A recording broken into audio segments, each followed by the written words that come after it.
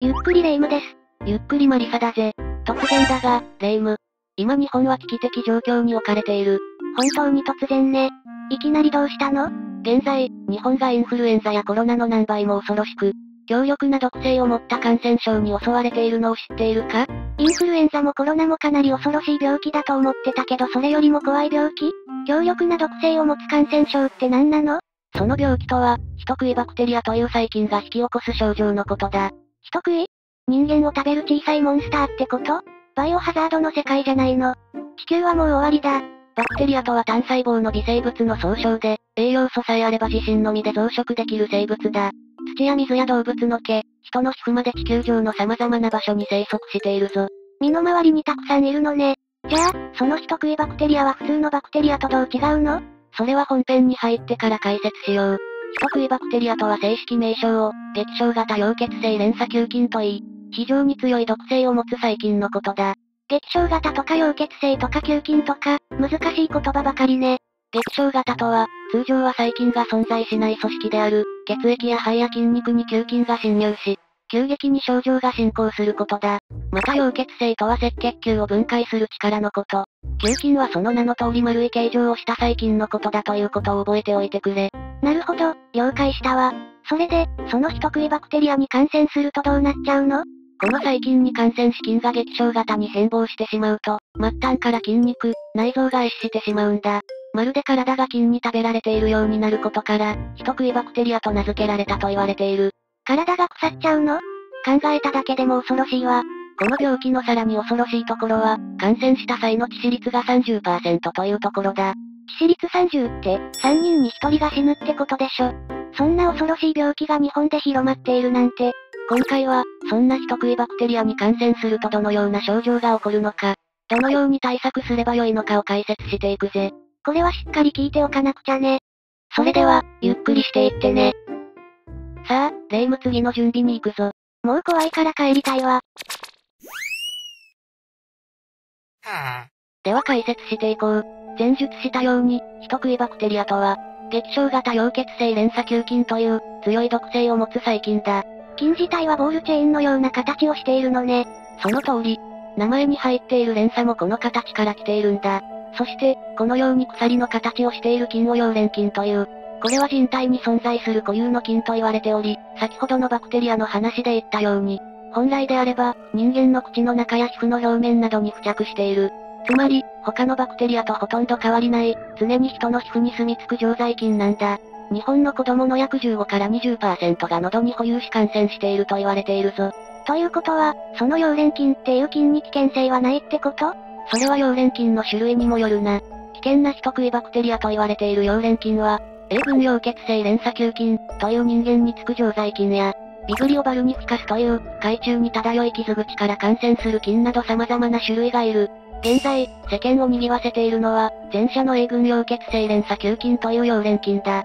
バクテリアにもいろんな種類がいるのは分かったけど、さっき言ってたように人食いバクテリアって、本来は他のバクテリアと変わらない常在菌なのよねそれがどうして致死率30%なんて、とんでもない感染症を引き起こしているのよ溶連菌は感染している人間が健康で元気な時は、何も影響なくおとなしくしているが、疲れや睡眠不足など生活習慣の乱れにより、免疫力が低下すると、喉の痛み、扁桃腺やリンパの腫れなど、風邪の症状を引き起こすんだ。元気がなくなったり怪我をした瞬間、隙をついたかのように一斉攻撃してくるのね。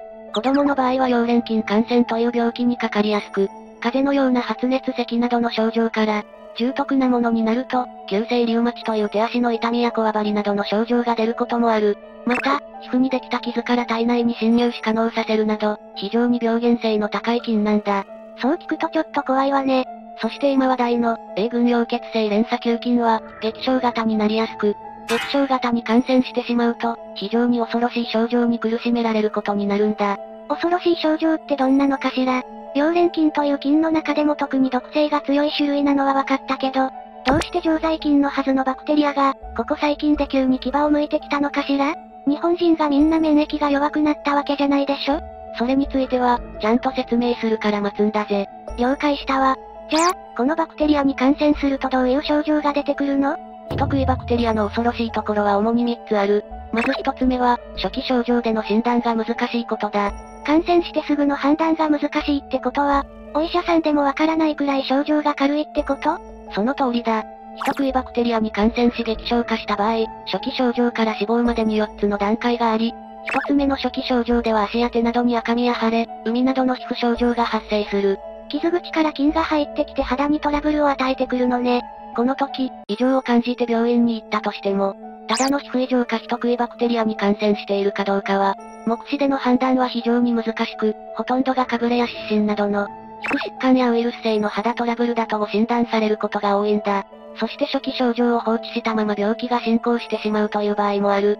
かぶれたり怪我したりして手足が痛くなることって、普通に生活していてもよくあることだし、それでわざわざ病院に行ったり血液検査することなんて基本ないわよね。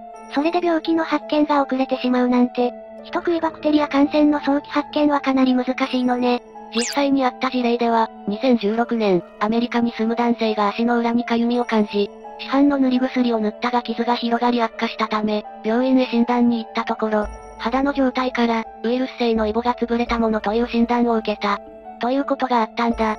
この話の流れだと、絶対にイボじゃなかったのよね。そうだ。彼は激症型溶血性連鎖球菌に感染しており、数日後は足の激しい激痛に襲われた。最終的には足の裏の幹部をえぐり取るというかなり恐ろしい手術が行われ、なんとか一命を取り留めたんだ。足の裏をえぐられるのなんて、想像しただけでも痛々しいけど助かったのならよかったわ。病気のプロフェッショナルなお医者様でも区別がつかないなんて怖すぎるわ。そうだよな。その後、数時間から数日ほどして初期症状が進行すると、症状の第2段階に入るんだ。第2段階はどんな感じになるの？第2段階では、鼻水や咳など風邪やインフルエンザによく似た症状が出てくることが多い。その他にも、喉の痛みや発疹の発生、舌がブツブツになったり、下痢嘔吐などの症状が出る溶連菌性咽頭炎や、皮膚に水ぶくれができて全身に広がる、伝染性脳下疹、別名飛び火が発症することで、全身がまるで火傷を負ったかのように真っ赤に腫れ上がることもある。聞いてるだけで辛そうだわ。ひどい時には40度以上の熱を出すこともあり、専門状態になってしまう人もいるくらいだ。ここでようやく感染が発覚する人が多いな。そして第3段階に進むと、手足の赤く腫れ上がっていた場所が紫色に変色し壊死していくんだ。体が生きたまま腐っていくなんて怖すぎるわ。人食いバクテリアはストレプトリジンという強い毒性を持つ物質を持っており、この毒が血流とともに全身を巡り赤血球を破壊する。赤血球がないと全身に酸素を送ることができないため、壊死性筋膜炎という筋肉の壊死や、毒素性ショック症候群という毒素反応が発生し、心臓や肺、腎臓や肝臓など多くの臓器が多機能不全を起こす症状が発症することで、致命的な障害となってしまうんだ。まさに筋肉が腐食に食らい尽くされていく感覚ね。そして最終の第4段階では、血圧の低下、呼吸状態の悪化、肺血症などを引き起こし、最悪の場合心肺停止しそのまま死に至る。そして人食いバクテリアの恐ろしいところ二つ目は、病気の進行が早いところにある。普通の風邪だったら発症してから3日前後が症状のピークと言われているけど、人食いバクテリアもそれくらいの進行速度なのかしら？いやいや、人食いバクテリアの進行速度はそんなもんじゃないぞ。症状の第2段階、発熱、おかんから死亡するまでの期間はわずか半日から1日程度。第3段階の壊死は1日になんと数センチの割合で進み、発症した人の約3分の1が、第2段階から死亡するまで48時間以内に亡くなっているんだ。そんなに短いの？初期症状の判断も難しいのに、そんな早く進行されたら対処のしようがないじゃない。重症化した3人に1人が死ぬっていうのも納得だわ。最近亡くなってしまった方もいるの？近年で起きた死亡事例では、2017年6月、野球チーム埼玉西武ライオンズの森慎二投手コーチが、激症型溶血性連鎖球菌に感染し、溶連菌による肺血病で命を落としたことがあったんだ。肺血病って、病原菌が体内に侵入することで、最悪組織や臓器に障害をきたすことがある恐ろしい病気ね。その通りだ。このコーチが体調不良を訴えて医療機関に駆け込み、肺血病で亡くなるまでの期間はなんとたったの3日間だったんだ。体調不良に気づいてから3日で死んでしまうなんて。また、奇跡的に生きることができた方も、壊死性筋膜炎のせいで手や足が壊死してしまい、幹部を手術で切断されてしまうこともある。体の一部を切り落とすの？2015年、新潟県に住む男性が同じく激症型溶血性連鎖球菌に感染した。右足に軽い痛みを感じてから4日目には、足は紫色に変色し腫れ上がり、彼自身も40度近い熱を出していた。そして1週間後、彼は意識を失い病院に搬送され、目を覚ました時には右足を手術により切断され失っていたそうだ。痛みを感じ始めてから足を失うまでのスパンがすごく短いわ。人食いバクテリアの進行の速さがよくわかる事例ね。他にも、高熱で脳に障害が残ってしまったり、失明してしまう方もいらっしゃるんだ。後遺症が残るのは辛いわね。できることならこんな病気絶対にかかりたくないけど、どういう状況で感染するのかしら。感染経路がわかれば予防することもできるかもしれないしね。非常に良い心がけだが、実はここにも人食いバクテリアの恐ろしいところがある。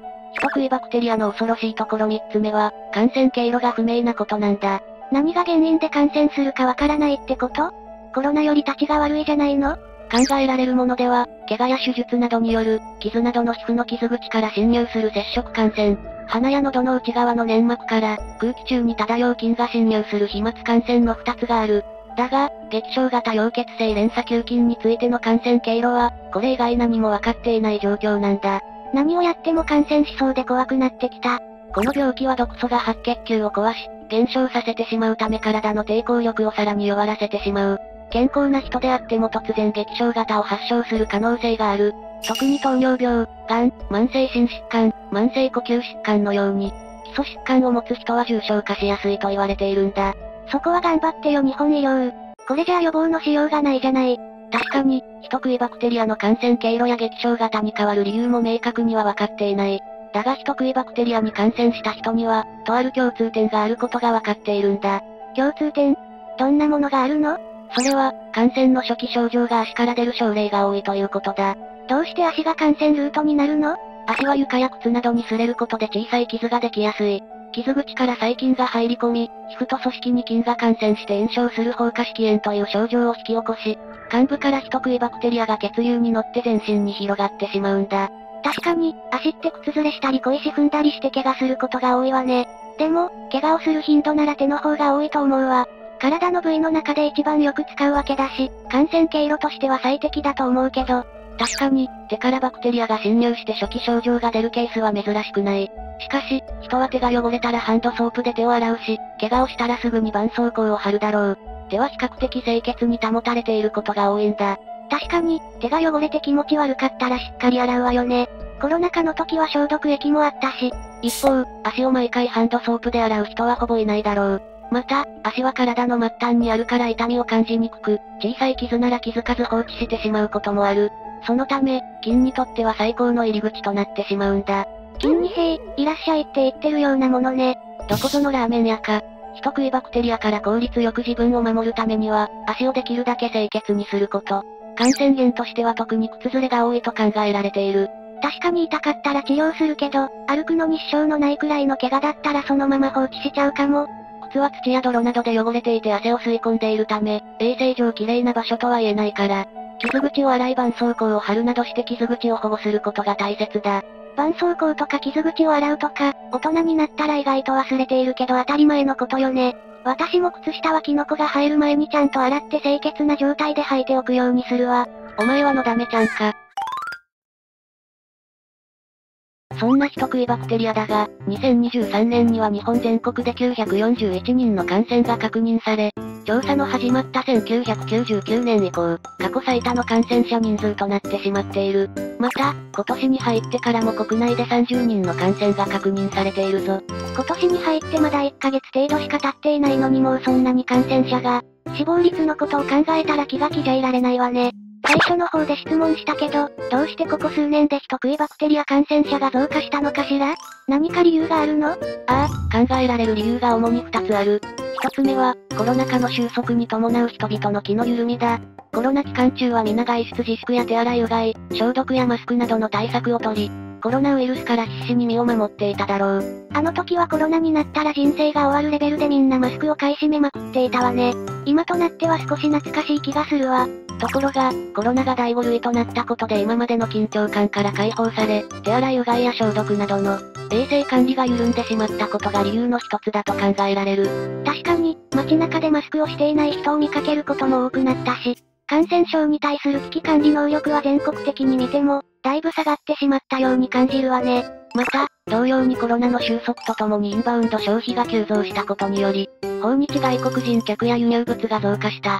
それにより海外から感染力や毒性の強い溶連菌が運び込まれ、日本で繁殖して猛威を振るっているとも考えられている。確かに、コロナが収束してから海外から来られた観光客も増えたわよね。グローバルになるということは良くも悪くも、多くの副産物を運んできてしまうのね。そして二つ目は、菌が薬に耐性を持ってきているということだ。菌が薬に耐性を？一体どうして溶連菌に感染した場合、医療機関の検査で溶連菌と分かれば、抗菌薬、つまり抗生物質を服用して治療を行う。だが、現在薬剤耐性菌という、抗生物質に耐性を獲得した菌が生まれ問題となっているんだ。ゴキブリが殺虫剤に耐性をつけて薬が効かなくなるのと同じようなものかしら。イメージとしてはそんな感じだ。薬剤耐性菌は抗菌薬の、過剰、頻回、長期間の使用によって発生する。抗生物質を使用する際は自己判断で使用せず、医師の指示に従って使用することで増殖を防ぐことができるぞ。確かに、薬ってお医者さんの指示を聞かずに一気に飲んじゃったりすることあるものね。これからはお医者さんの話をしっかり聞いて健康に薬を飲むことにするわ。バカにつける薬はないけどな。喧嘩売っとるんか？考えられるだけでも、この二つが人食いバクテリア感染者の増加につながっていると考えられる。コロナが終わったから、自分は健康だから時を抜かずしっかりと手洗いうがいや消毒。人混みではマスクをつけるなどの対策をとっておくといいだろう。了解です。いかがでしたでしょうか？今回、人々に死の恐怖を与える恐ろしい細菌、人食いバクテリアについて解説したが、皆さんは人食いバクテリアについてどう思っただろうか？いつ発症するかもわからないし、激症型になったら死んじゃうしで恐怖しか感じてないわね。確かに、最近の報道や SNS の話題で、人食いバクテリアは非常に恐ろしいものだという概念が定着しつつある。だが、過敏になって怯える必要はないぞ。ええー、だって怖いところしかなかったじゃない。確かに、激症型になった感染者の死亡率が30%もあるのは本当だ。だが、最近の研究で人食いバクテリアの致死性を抑える希望が見え始めているんだ。致死性を抑えるってことは、激症化するのを止められるかもしれないってこと？その通りだ。大阪大学微生物病研究所、免疫学フロンティア研究センターの、山崎明教授らを中心とする共同研究グループは、激症型溶血性連鎖球菌が、免疫の働きを邪魔する脂質を分泌して、激症化しやすい環境を作っていることを明らかにしたんだ。